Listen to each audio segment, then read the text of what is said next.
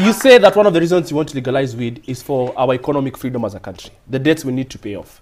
Now, I mean, like, if you're going weed, can we just keep going all the way? I don't know. Is opium on the list? I mean, how how far are we going in regard to what we need to pay off our debts? First of all,